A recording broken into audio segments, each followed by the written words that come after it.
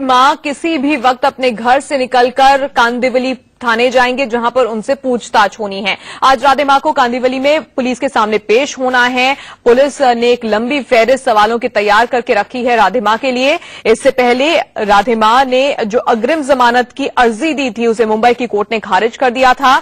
और अब खबर मिल रही है कि राधे माँ किसी भी वक्त अपने घर से निकले और सीधे कांदिवली थाने का वो रुख करेंगी। पेशी के लिए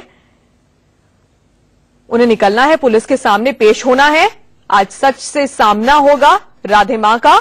दहेज उत्पीड़न का यह पूरा केस है। एक महिला ने दहेज उत्पीड़न का केस दर्ज कराया है राधे माँ के खिलाफ और इसी सिलसिले में पुलिस उनसे पूछताछ करने वाली है।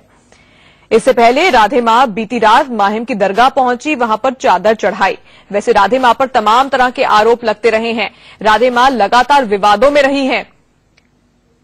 तथाकथित धर्मगुरु राधे माँ, पर ढेर सारे आरोप लगे हैं, लेकिन आज दहेज उत्पीड़न का जो केस है, उस सिलसिले में उन्हें पुलिस के सामने पेश होना है। इस वक्त उनके तमाम भक्त उनके घर पर नज़र आ रहे हैं।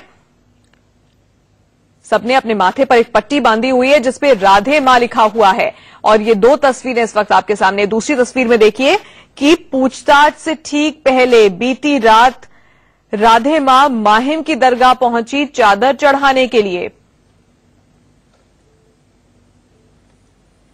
इस वक्त राधे माँ के घर के बाहर बड़ी संख्या में उनके भक्त भी मौजूद हैं और थाने के बाहर भी सुरक्षा के कड़े इंतज़ाम किए गए हैं।